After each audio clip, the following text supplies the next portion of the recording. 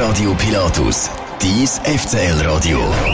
In einer Stadt in der Schweiz, wo Zehn, es gibt einen Club in der Schweiz, wo Zehn, es gibt eine Stadt blau-weiß, ein Macht blau-weiß, ein Club blau-weiß, ein Team blau-weiß. Janscher schießt und trifft. Jawohl, das ist natürlich ein Start nach Mass für den FC Luzern. Nach drei Minuten führt der FC Danke mit Penalty-Goal vom Jakob Janscher mit 1 zu 0.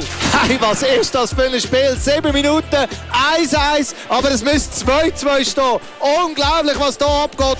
Bam, bam, bam, schon 2-1, 3 Goal innerhalb von 12 Minuten. Und jetzt führt der FCL wieder noch. Und wieder ist der Jakob Janscher.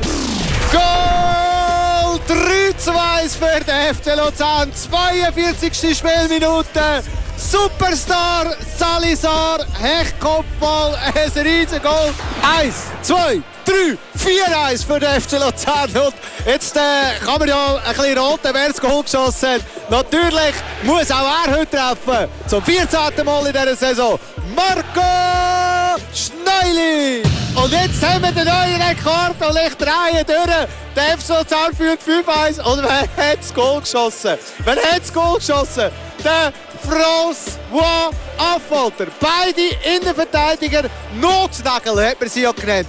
Absolut ungenügend in der Super League. Und beide schießen dort das Goal. Der Salisar und auch der François Affolter. 6-1. Dario Lescano!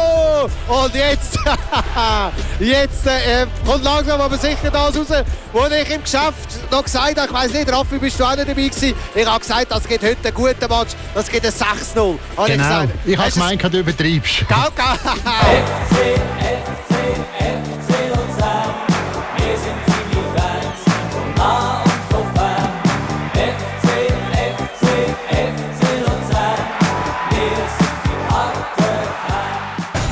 Radio Pilatus, dies FCL-Radio.